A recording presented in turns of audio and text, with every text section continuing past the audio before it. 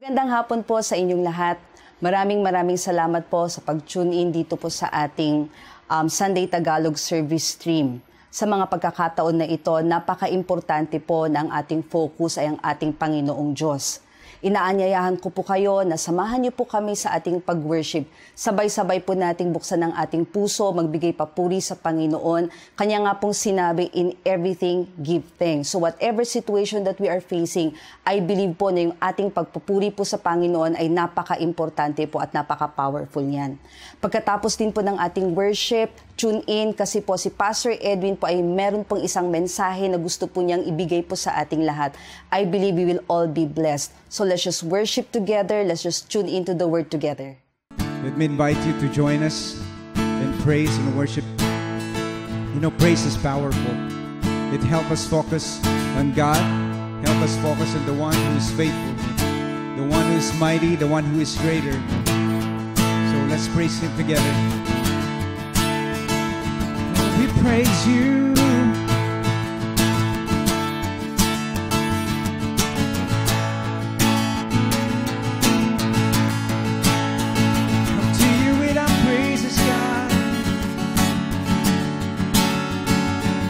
Let praise be a weapon that silences the enemy.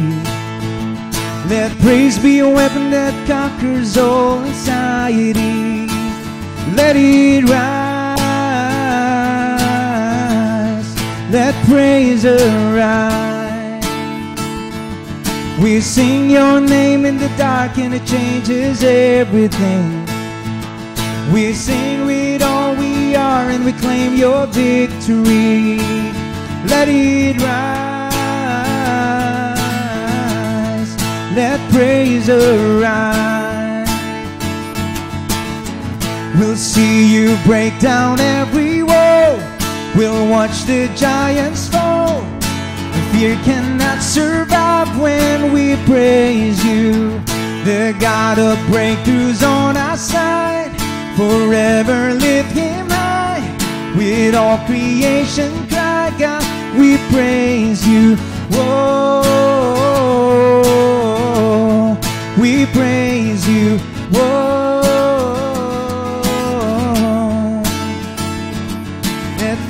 The song that overcomes the raging sea. Let faith be the song that calms the storm inside of me. Let it rise. Let faith arise. Sing again. Let faith. Let faith be the song that overcomes the raging sea. Let faith be the song that calms the storm inside of me. Let it rise.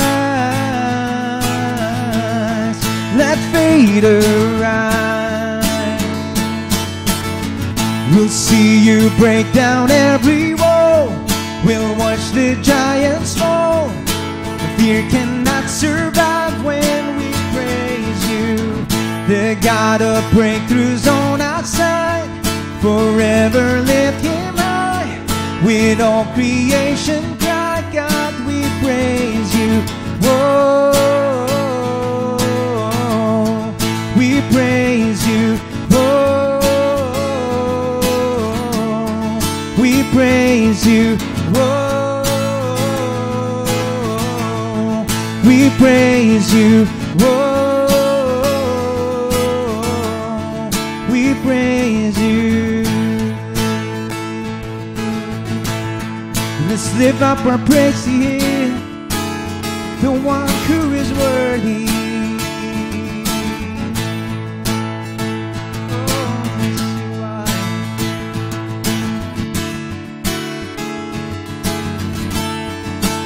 Let's this. This is what living looks like. This is what freedom feels like. This is what heaven sounds like. We praise you, we praise you. This is what living looks like. This is what freedom feels like. This is what heaven sounds like. We praise you, we praise. Come on, declare. This is what living looks like. This is what freedom feels like.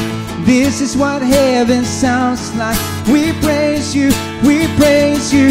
This is what living looks like. This is what freedom feels like. This is what heaven sounds like. We praise you, we praise you. We'll see you break down every wall.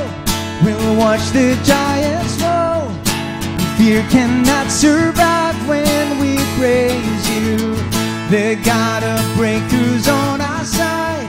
Forever live Him high. With all creation, God, God, we praise you. We'll see you break down every wall. We'll watch the giants. Fear cannot survive when we praise you. The God of breakthroughs on our side. Forever live Him high. With all creation, cry God, we praise you. Oh, we praise you. Oh, we praise you. Praise you. Oh, we praise you. We lift up our praise to the one who is greater, to the one who is mighty, to the one who is faithful and good, the one who is faithful and true. We lift our praise. Just take a moment to give him praise in your room, in the kitchen, wherever you are. Live up your praise, live up a thanksgiving. We are singing that praise is a weapon, and it's a powerful weapon. We are fighting from a place of victory, that's why victory is assured. So let's praise Him. We say, Whoa, we praise you. Oh, we praise you. Oh, we praise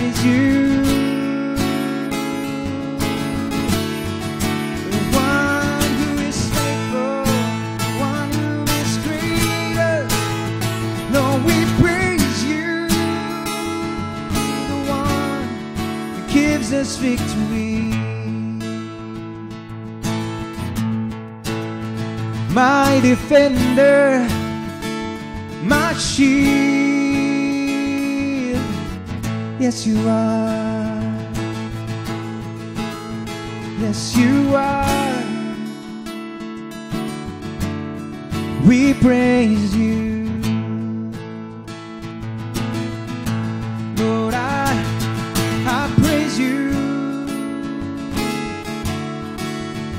Alone are worthy to be praised. So we lift our voice to honor you and praise you. Oh, we give you praise. Oh, we thank you, Lord God, in our pres- your presence in our midst today. In every room, in every household, in every family that gathered and worshiping you, God, I thank you you are fighting the battles for us. That this battle, Lord God, we are victorious. So we praise you. We give you glory. We honor you in this place, in our houses, in our homes. We give you praise. As we continue to worship Him, you know, there's no strong foundation in these times of uh, crisis. may call it crisis or this situation. You know, our foundation is Christ alone. He's the solid rock. We stand on His word, and uh, not our own strength, not how good we are, not our wealth or our position that will make us stable in this uh, season, in this uh, situation.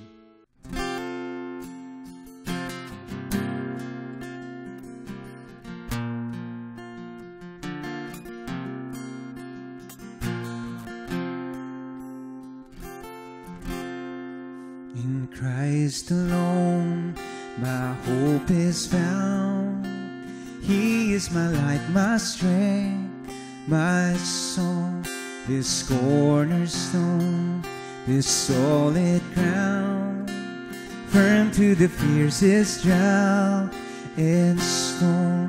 What heights of love, what depths of peace, when fears are still, when striving cease, my comforter, my all in all. Here in the love of Christ I stand.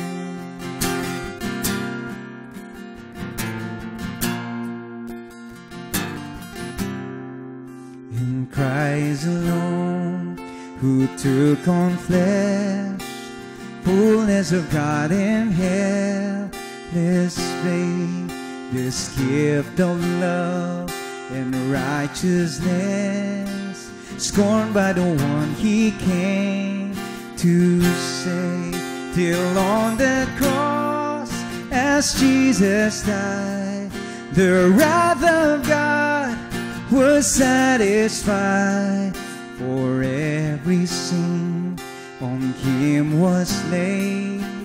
Here in the death of Christ I live.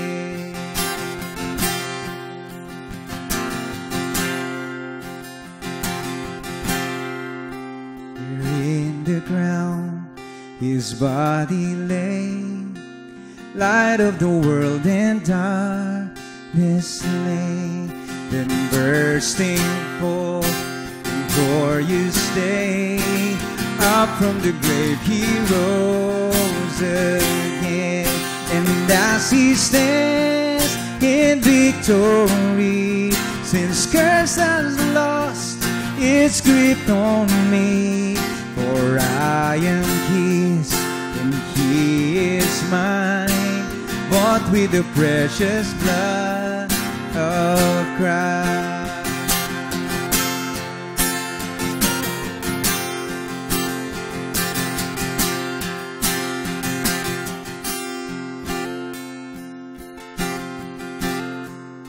No guilt in life, no fear in death.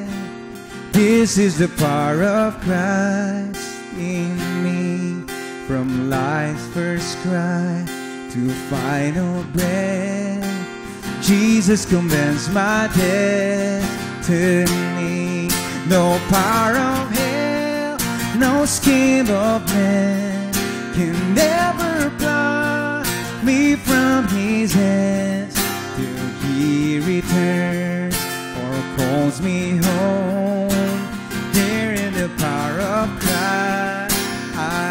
I stand. Yeah. I stand in the power of Christ. I stand in your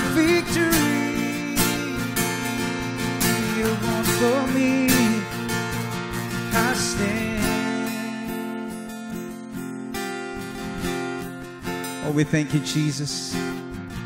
You're a firm foundation. Thank you, Lord, that the power that works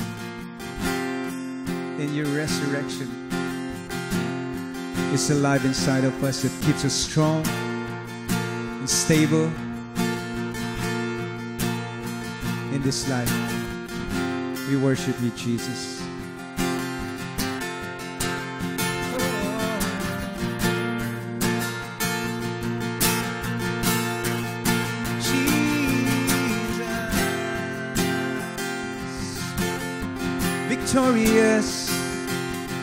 glorious. Oh, we worship you. In you we stand. In your victory we stand.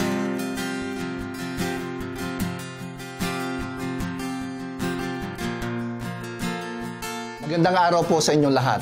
Narito po tayo upang tayo ay ah, mag-aral ng kanyang mga salita. Ngayon po ay isang ah, panahon na kung saan ay ah, nakikita natin ang kaguluhan, ang panik, ang takot sa ating ah, paligid. At marami nagtatanong, ano ang gagawin natin sa ganito mga panahon ngayon? Anong gagawin natin na mga mananampalataya sa panahon na kung saan ay uh, mayroong pagsubok na kinakaharap, hindi lamang ng individual, kundi ng buong lipunan, ng buong bansa? Para sa mga mananampalataya na katulad natin, kinakailangan nating uh, alamin mula sa salita ng Diyos, ano po ang ating magiging uh, tungkulin ngayon sa panahong ito na tila baga ang takot at ang kadiliman ay lumulukob sa atin. Tayo pong mga mananampalataya ay merong inihamon ng Panginoon para sa atin. Kaya naman ngayong, ngayong araw na ito, nais ko pong magbigay ng mga uh, uh, puntos kung ano ang dapat gawin ng mga mananampalataya sa panahon na kung saan laganap ang takot, laganap ang mga pagsubok, laganap ang sakit, Naka-lockdown ang buong uh, Luzon, buong Pilipinas, naka uh, state of emergency. Pero ang mga anak ng Diyos ay kinakailangang tumayo ng may pananampalataya. Tumayo ng may maliwanag na pag, uh, pagkakinig ng, ng salita ng Diyos kung anong itinatawag ng, ng Diyos sa atin. At uh, sa salita po ng Panginoon, binigyan po tayo ng mga ihemplo kung ano ang ginagawa ng mga anak ng Diyos pagka merong krisis o may mga pagsubok na katulad nito. At nais ko pong magbigay sa inyo ng tatlong bagay na dapat gawin natin bilang isang mananampalataya. Hindi po tayo tinawag para magpanik. Tayo ay tinawag para manampalataya. Dahil hindi po tayo pababayaan ng Panginoon. Kung tayo ay magtitiwala sa Kanya at tayo ay patuloy na susunod sa kanyang uh, uh, inihahamon sa atin sa gitna ng kadilimang ito, makikita natin at makikita rin ng lipunan sa paligid natin kung ano ang liwanag ng Diyos na kanyang uh, ibinibigay sa kanyang mga anak. Tatlo pong bagay ang dapat pong gawin po natin bilang isang mananampalataya. Ang una po, sa panahong ito, kinakailangan ang mananampalataya ay masigasig sa pagpupuri. Ito po ang panahon na kung saan lahat ng mga naniniwala sa Diyos, imbis na sila ay matakot or imbis na tayo ay uh, magkaroon ng pangamba, mas mabuti po itong panahong ito, ito yung panahon na tayo ay nagpupuri at nagpapasalamat sa Panginoon. Nais ko pong basahin sa inyo itong ikalawang mga kronika, kapitulo uh, ah, 20, talatang 12. At ito po ay isang kwento patungkol sa isang uh, uh, hari sa Israel na ang pangalan ay si Jehoshaphat. At sila ay nahaharap sa isang matinding krisis din nung panahon niya. At sila ay uh, nahaharap sa maraming kalaban, matinding kalaban, malalakas na mga kalaban. At sila ay uh, tiyak na malilipol at sila lahat mawawala.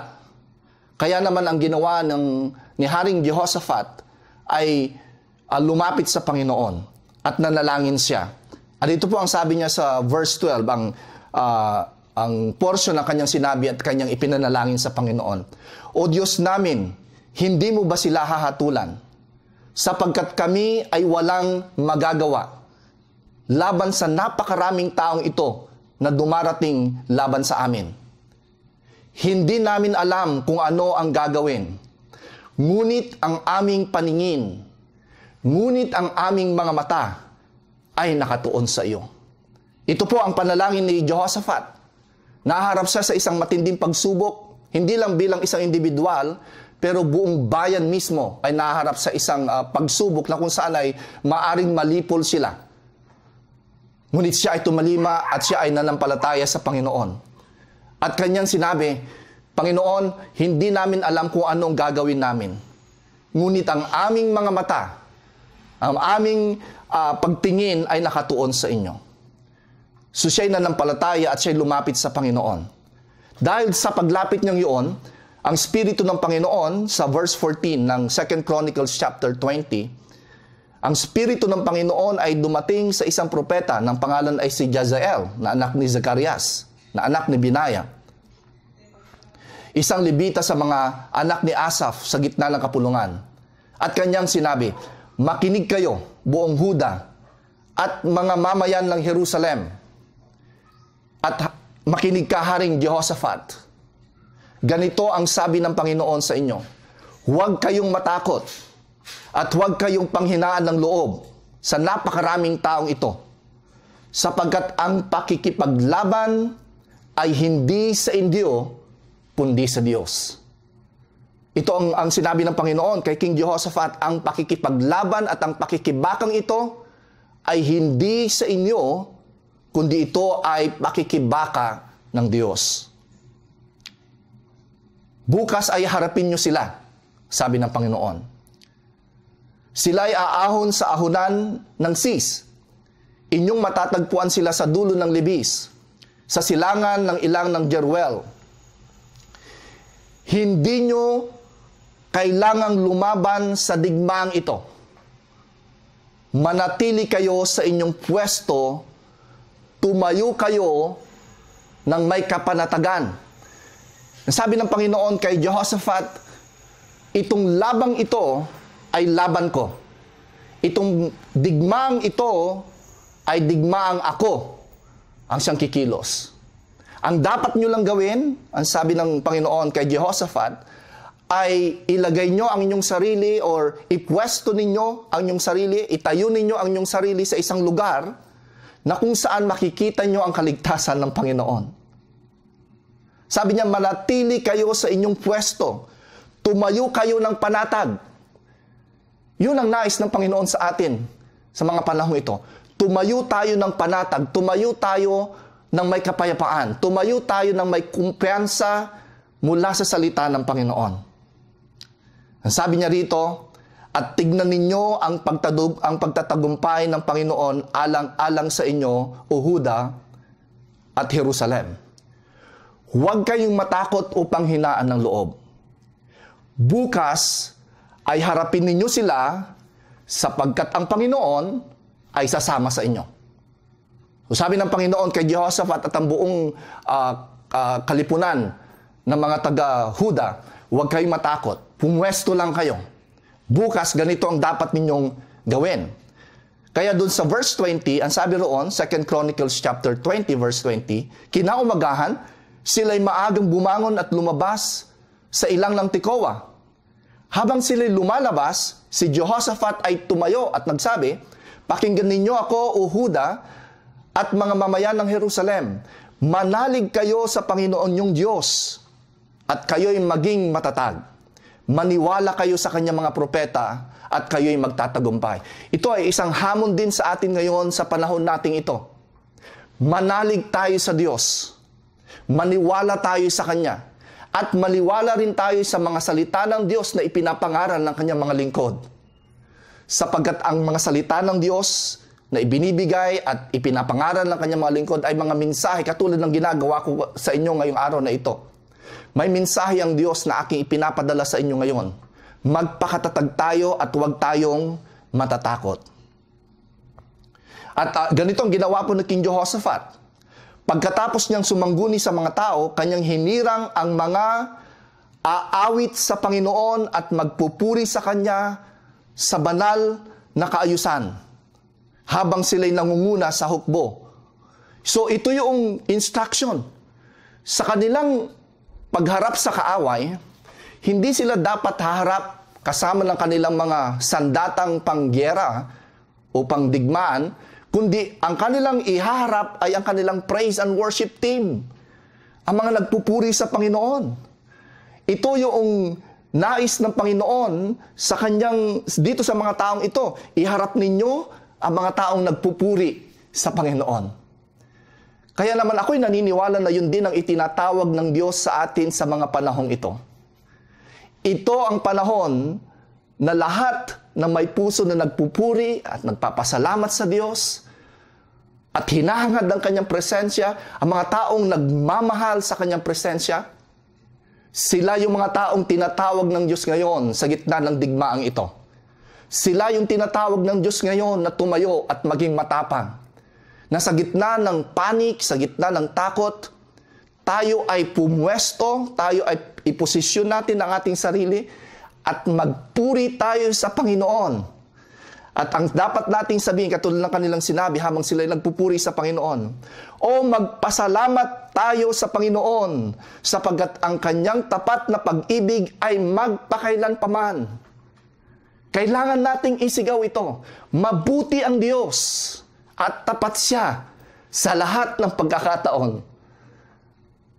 At sa panahon ito na may takot sa paligid natin, hindi natin alam kung anong gagawin natin. Maging ang ating mga uh, namamahala at mga nasa gobyerno ngayon ay hindi alam kung anong gagawin. Maging ang mga sayantipiko sa buong mundo, hindi alam ang kanilang gagawin. Pero anong sabi po ni King Jehoshaphat? Hindi namin alam ang aming gagawin, pero nakatuon ang aming mata sa inyong Panginoon. Pero kami magpupuri sa inyo, Panginoon, at magpapasalamat sa inyo. Ito po ang hinahamon ng Panginoon sa atin. Magpasalamat tayo sa Panginoon. Magpuri tayo sa Panginoon. Habang tayo ay naka-lockdown ngayon sa ating mga bahay, meron naman tayong mga music uh, equipments, you know, meron kayong mga radyo or meron kayong mga pang-play ng inyong uh, uh, ng mga praise and worship song. Mag-play kayo ng mga worship song sa inyong tahanan. Magpuri kayo sa Panginoon. Magpasalamat tayo sa Panginoon sa mga panahong ito. Sapagkat dito natin kinakailangang makita ang presensya ng Panginoon. At higit sa lahat, pag tayo nagpupuri sa Panginoon, habang ating pinapasalamatan ng Panginoon, in behalf of our nation and in behalf of our country, the glory of God will invade this nation. Magpuri tayo sa Panginoon. Huwag kayong tumigil sa pagpupuri sa Panginoon. Alam niyo po ang nangyari. Sila ay nagpupuri, nakaharap sila sa kanilang mga kaaway, at sinasabi nila, O oh, magpasalamat tayo sa Panginoon sapagkat ang kanyang tapat na pag-ibig ay magpakailan paman. At habang sila ay nagsisimulang umawit at magpuri, ang sabi roon, ang Panginoon ay naglagay ng pagtambang laban sa mga taga-Amon, Moab at bundok ng Seir na dumating, na dumating laban sa Huda, kaya't sila ay nagapi sapagkat sinalakay ng mga anak ni Amon, ito po yung mga kalaban ni, ni King Jehoshaphat at ng Huda.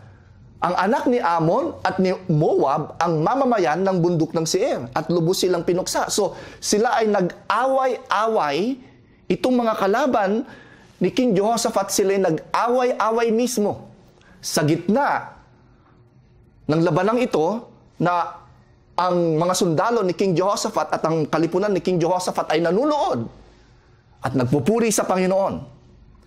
So nakikita nila na nagpapatayan itong mga kalaban nila pagkatapos nilang patayin ang mga mamayan ng bundok ng Seir. Silang lahat ay tumulong upang puksain ng isa't isa. Nagpupuri ang, sa Panginoon itong mga itong mga tao sa king sa sa sa Huda.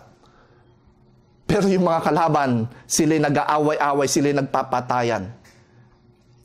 So, nang ang Huda ay dumating, sabi rito, sa, banda, sa pantayang tori sa ilang, sila'y tumingin sa dako na napakaraming tao sa kanilang mga kalaban. At nang makita nila ito, sila'y mga bangkay na nakabuwal sa lupa at wala nang nakatakas. Lahat sila patay. Habang nagpupuri, sila King Jehoshaphat at ang kanyang mga kawal at ang kanyang mga kalipunan. Nang si Jehoshaphat at ang kanyang mga tauhan ay pumaroon upang kunin ang mga samsam sa kanila, ito yung mga spoils, ito yung mga naiwan ng mga sundalo ng kalaban nila, nakatagpo sila ng napakaraming baka, napakaraming ari-arian, mga ginto at pilak, mga damit, at mahalagang bagay na kanilang kinuha para sa kanilang sarili hanggat sa hanggang sa hindi nila makayang dalhin ito. Tatlong araw nilang hinahakot at sinasamsam ang napakaraming kayamanang naiwan ng kanilang mga kalaban. Nang ikaapat na araw, sila'y nagtipon-tipon sa libis ng Biraka sapagkat dooy pinuri nila ang Panginoon. Diyan po sa verse 26 yon. Kaya't ang pangalan ng dakong iyon ay tinawag na libis ng Biraka hanggang sa araw na ito. Alam niyo po, yung salitang Biraka is blessing. So ang, ang, ang ginawa nila ay tinawag nilang Valley of Blessing or libis ng Biraka yung lugar na kung saan ay lugar ng battlefield. Lugar na kung saan ay pwede silang mapuksa. Ito ay lugar ng labanan. Pero dahil sila nagpuri sa Panginoon at sinunod nila ang utos ng Panginoon na kayo'y pumwesto lamang, magpuri kayo sa Panginoon, huwag kayong matatakot, huwag kayong mangangamba.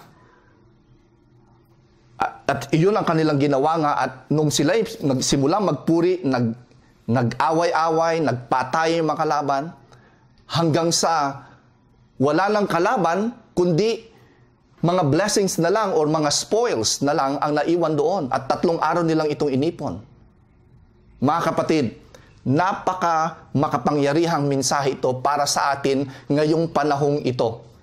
Sa gitna ng battlefield, pag tayo ay nagpupuri sa Panginoon at tayo ay nagpapasalamat sa Kanya at huwag lang tayong bumigay sa takot at manampalataya lang tayo sa Panginoon, gagawin niya ang battlefield mo na magiging battle of blessing or the field of blessing. Imbis na battlefield siya, it will be a place or a field of blessing. Ang tawag ko nga doon ay yung battlefield mo ay gagawin, gagawin niyang blessing field. Yung blessing field mong yan ay dahil nagpuri ka sa Panginoon sa gitna ng yung battlefield. Itong pagsubok na dinadaanan natin ngayon, naniniwala ako, maraming blessings ang ibubuhos ng Panginoon dito. Ano man ang ginagawa ng kaaway at ang plano ng kaaway upang tayo ay uh, nakawan or sirain or patayin, kikilos ang Diyos kung tayo ay mananatili lang sa lugar ng pagpupuri at pasasalamat, ang ating battlefield ay gagawin niyang blessing field. At tingnan nyo ang mga susunod na panahon, kung tayo ay magiging matatag at tayo ay magiging uh, masigasig sa pagpupuri, sa gitna ng mga pagsubok na ito, may gagawin ng Panginoon. Siya ang kikilos sa atin. Sabi nga ng Panginoon, ito ay aking laban. Ang gagawin mo lang, magpasalamat at magtiwala sa akin. So anong gagawin natin sa mga panahong ito? Ito ang panahon ng pagpupuri. ito ang panahon na kinakailangan magpuri tayo at magpasalamat tayo sa Panginoon. Pangalawa, ito ang panahon ng pananalangin. Maraming panahon tayo ngayon para manalangin. Naka-lockdown lang tayo, naka-quarantine tayo sa ating mga bahay. Hindi tayo masyadong um, abala sa mga ibang ginagawa natin sa labas o sa ating mga opisina o sa ating mga trabaho. Nandito tayo ngayon sa lugar na kung saan ay pwede nating ipinid or isala, isara ang ating pinto ng ating silid, silid at tayo ay manalangin. Sabi nga ng Panginoon, kung ikay mananalangin, mag-lockdown ka sa iyong kwarto at manalangin at napapakinggan ka ng yung, ang, ng iyong ama na nasa langit. Panahon ng panalangin po ngayon. Efeso Kapitulo 1, talatang 18, ah, ang sabi rito ni Apostol Pablo, at manalangin kayo sa lahat ng araw sa tulong ng Banal na Espiritu. Ipanalangin ninyo ang lahat na dapat ipanalangin at huwag kayong magpabaya. Ito yung panahon na hindi tayo dapat magpapabaya. Ito ang panahon na dapat tayong manalangin. Patuloy kayong manalangin lalo na para sa mga binanal o lalo na sa mga mananampalataya sa buong mundo. Sa buong mundo ngayon. Manalangin po tayo na mapagtatagumpayan po natin ito. Sa unang Timoteo Kapitulo 2 talatang 1 hanggang 3, ang sabi roon, una sa lahat, ipinapakiusap ko na idulog ninyo sa Diyos ang inyong mga kahilingan, panalangin, pagsamo at pasasalamat para sa lahat ng tao Lalo't lalo't higit itong panahong ito para sa lahat ng tao. Idalangin rin ninyo ang mga hari at may kapangyarihan, mga ang uh, ating presidente, ipanalangin po natin ng namumuno sa atin ngayon. Ipanalangin natin ng mga frontliners ngayon. Itong mga doktor, itong mga nurses, ang mga ang mga personnels na sila ngayon ang nasa frontline. Pati yung mga uh, nasa nasa bank, yung mga bank tellers, yung mga yung mga companies na hindi itinigil ang kanilang mga trabaho dahil ito ay mga essential utilities. Ipanalangin natin sila. Kanina nga ay uh, may dumaan dito na maghahakot ng basura. Kailangan po natin ng mga taong katulad nito at kung hindi sila magiging matapang, hindi mo magiging maayos ang ating paligid. Ipanalangin natin ang mga taong ito. Bakit po? Sapagkat ang sabi rito, upang tayo ay makapamuhay ng matahimik, maayos, mapayapa, makadiyos, at marangal. Kung nais po natin ng kaayusan at solusyon sa nangyayari ngayon, hindi po ang pagkukomplain against the government o kung ano-anong mga pilosopong pananalita ang dapat nating gawin ngayon. Wala po tayong dapat gawin ngayon kundi idulog natin sa Diyos ang nangyayari ngayon. Dahil wala pong may gusto nito, wala pong may plano nito, pero sabi nga po ng ating Pangulo, idulog natin sa Diyos ito. Marami pong mga uh, namumuno sa mga bansa ngayon sa buong mundo ang humihiling ng panalangin. Mga anak ng Diyos, bumangon po tayo, tumindig tayo, at ipanalangin natin ang nangyayari ngayon. Ito ang laban na kung saan hindi laban ng, ng dugo at laman, ito'y laban ng spirito. Ang tanging pamaraan lang po rito ay manalangin po tayo. Napakaliwanag po ang sinasabi sa Santiago Kapitulo 5 talatang 6 or 16 uh, James chapter 5 verse 16 sa last statement, malaki ang nagagawa ng panalangin ng taong matuwid. Tayo ay ginawang matuwid na ng Panginoon hindi dahil tayo mabubuti, tayo religyoso, tayo mababait, tayo ay ginawang matuwid ng Diyos dahil sa ating pananampalataya sa ating Panginoong Yesus. At ang sabi ng salita ng Diyos, malaki ang nagagawa ng panalangin ng mga taong matuwid. Kung ikaw ay nananampalataya sa Panginoong Yesus, ikaw ay matuwid at ang iyong panalangin ay kailangan-kailangan ngayon para itulong para sa ating bansa. Malaki ang nagagawa ng iyong panalangin. Huwag mong maliitin ang panahon na kung saan ay ilalapit mo sa Panginoon ang nangyayari ngayon. Ito ang panahon na kinakailangan manalangin po tayo. Pangatlo po at panghuli, ito ang panahon ng pamamahinga. Well, literally, talagang namamahinga tayo ngayon sapagkat talagang napuwersa tayong magbakasyon ng isang buwan. Literal. Pero hindi po yun lang ang aking tinutukoy at uh, kinakailangan po natin magpahinga talaga physically. Pero ito ang panahon ng pamamahinga. Ano ibig kong sabihin? Sa Hebreo Kapitulo 4, talatang 1 hanggang 3, ang sabi rito ng salita ng Diyos, Kaya nga habang nananatili ang pangako ng Diyos na tayo makakapasok at makakapagpahinga sa piling niya, mag-ingat kayo at baka mayroon sa inyong hindi makatanggap sa pangakong ito. Verse 2, sapagkat tulad nila, ito yung mga uh, Israelita na hindi nakinig sa salita ng Diyos, napakinggan nila ang magandang balita, ngunit hindi nila ito pinakin, pinakinabangan. Hindi nila pinakinabangan ang balita ng kanilang marinig ito sapagkat hindi nila ito tinanggap ng may pananampalataya. Ang tinutukoy ko po na pamamahinga ay ang pananampalataya sa salita ng Diyos. Tayo mga sumasampalataya ang nakatanggap sa kapahinga, kapahingahan na ipinapangako rito. Kaya nga ang sabi ng Panginoon sa atin, ito yung panahon na kung saan imbis na magpanik tayo, magtiwala tayo sapagkat ito ang panahon ng kapahingahan. Kapag ikaw ay namamahinga, ibig sabihin, hindi ka namumuhay sa panik, nagtitiwala ka sa Diyos, na ang Diyos ang kikilos sa panahong ito. Kapag ikaw ay nagpapahinga, ibig sabihin ikaw ay naniniwala na ang kapangyarihan ng Diyos ang kumikilos dito. At hindi ka nabubuhay sa anumang uri ng uh, fear. Mga kapatid, magpahinga po tayo. Mag-trust lang po tayo sa Panginoon. Pag sinabi po mong trust, katulad po ng ginagawa ko ngayon, nakaupo ako sa silyang ito. Pinagtitiwalaan ko ang aking silya na madadala niya ako at hindi ako babagsak. At hindi, hindi ko iniisip na, kaya ba ako ng silyang ito? Ganon din sa Diyos. Hindi tayo pababayaan ng Panginoon. Magpahinga lang tayo sa Kanya. Manampalataya lang tayo sa Kanya. Kasi kapag ikaw ay nasa state of rest or pagpapahinga, mas maayos ang iyong pag-iisip. Maganda at klaro ang iyong pagpaplano.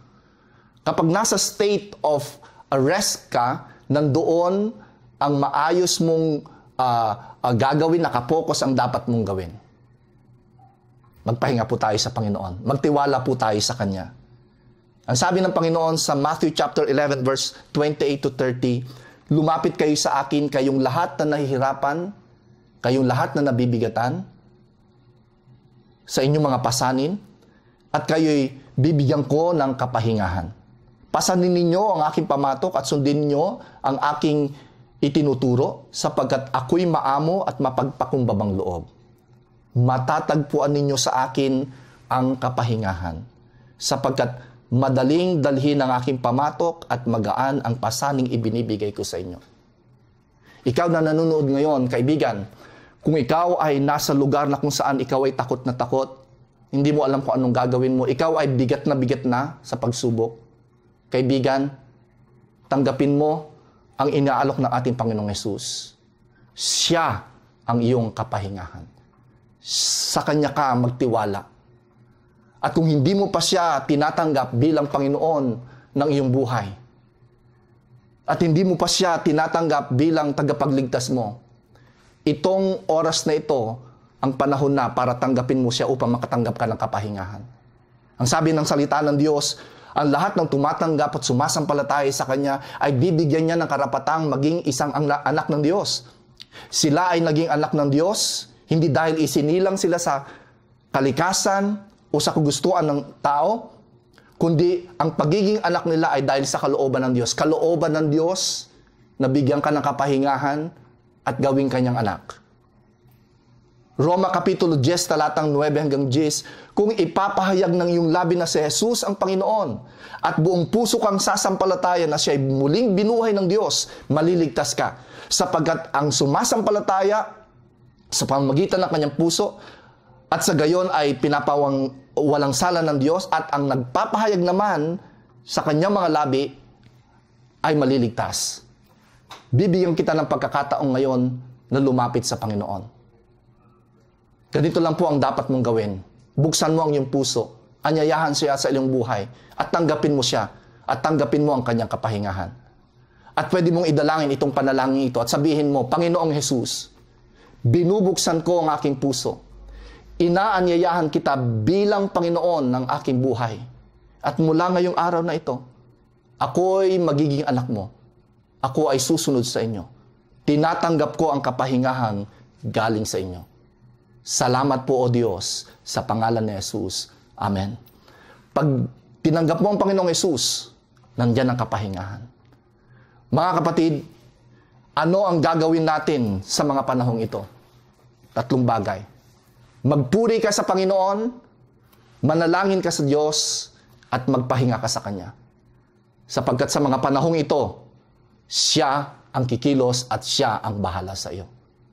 Pagpalain po kayo ng ating Diyos. At naniniwala po ako, malalampasan natin ito. Matatapos din ang pagsubok na ito. At nalalampasan natin ito ng may pag-asa, may kalakasan, at mas matibay tayo, at mas makikita natin ang kapangyarihan ng Diyos sa mga pagsubok na ito. Maraming salamat po at uh, magandang araw po sa inyong lahat.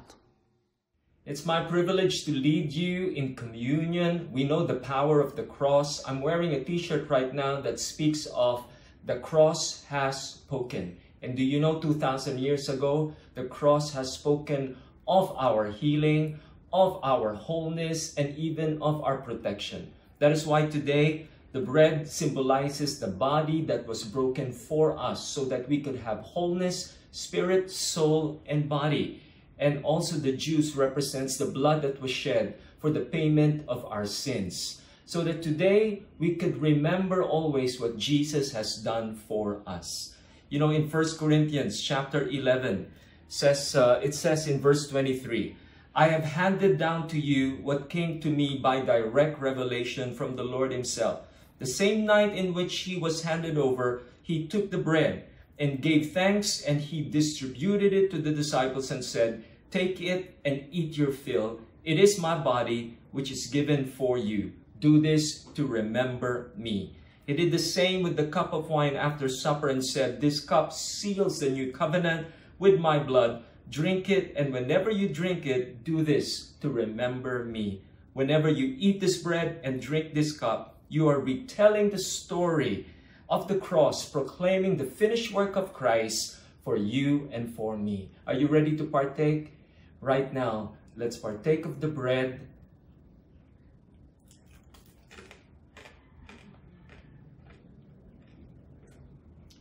And let's drink of the cup. Father, we thank you for what you've done for us, and we remember your faithfulness, your sacrifice, your love for us. And we receive all the benefits of the cross. All the cross has given to us, we receive it today. We receive wholeness, we receive life, we receive healing, we receive protection for us and our families. In Jesus' name, amen.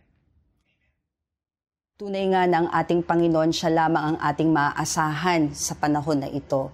Ngayon, um, sama-sama po tayong umasa sa Kanya, sa ating Ama at huwag pong mawalan ng pag-asa. Alam niyo po, isa sa mga areas sa buhay natin ngayon na talagang inaatake ay yung sa area ng ating finances. Ngunit kung makikita natin sa salita ng Panginoon, ang kanyang prinsipyo po still stands. Ano pong ibig ko pong sabihin? Na in the midst po ng ating um, tunay na great need, ang ating pagbibigay po ay hindi po uh, lingid sa tingin ng Panginoon. Maalala ko po ang exhortation ni Apostol Pablo sa Book of Corinthians kung saan po kanyang pinuri ang pagbibigay po ng Macedonian Church. Babasahin po natin yan sa 2 Corinthians chapter 8 verse 1 to 2. Sabi po niya dito, mga kapatid, Nais naming malaman ninyo ang pinakitang kagandahang loob ng Diyos sa mga iglesia sa Macedonia.